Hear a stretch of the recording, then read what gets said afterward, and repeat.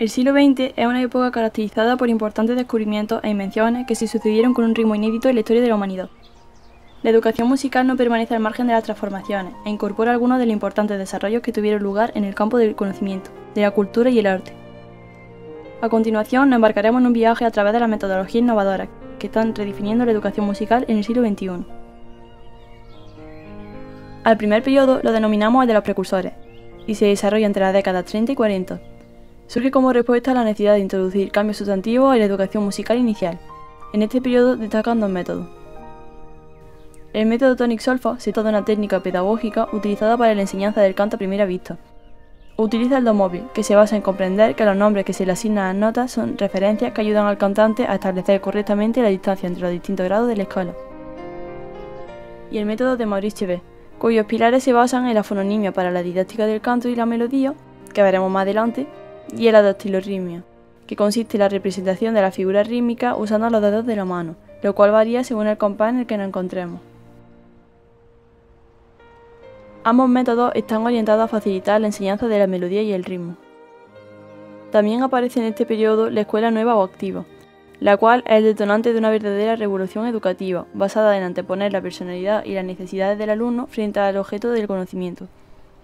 En la escuela nueva destacamos figuras tan importantes como son de Crowley y Montessori.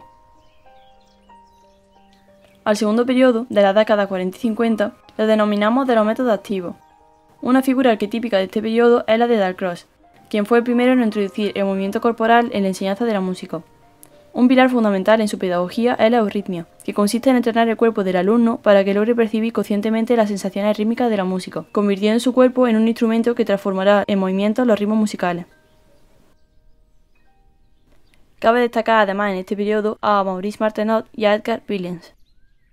El tercer periodo va de la década 50-70 y lo denominaremos de los métodos instrumentales. Tiene como principales referentes a Orff, Kodali y Suzuki. En el método Orff se le da un lugar prioritario a la formación de conjuntos instrumentales.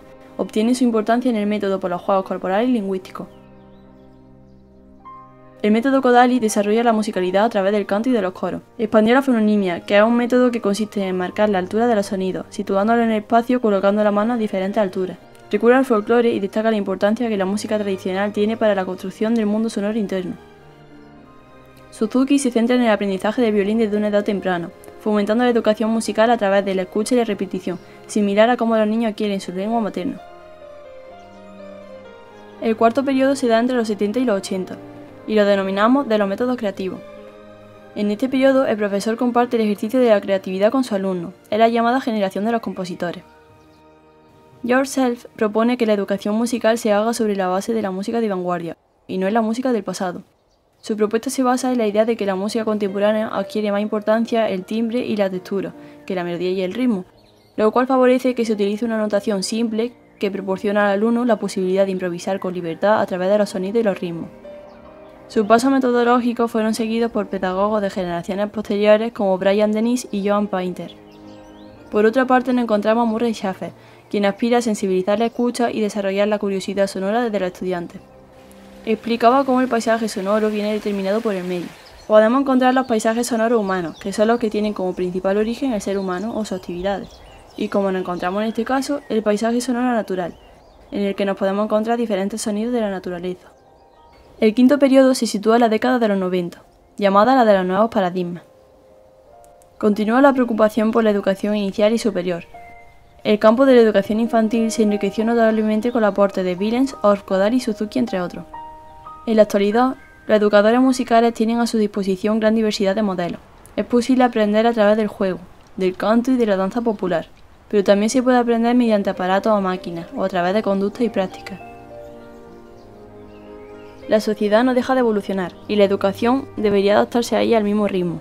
Aunque hemos avanzado con respecto a hace un siglo, es crucial reconocer que aún queda un gran camino por recorrer, lo que nos lleva a reflexionar sobre la importancia de adaptar los métodos de enseñanza musical a las necesidades, asegurando así una formación integral y relevante para las generaciones, tanto actuales como futuras.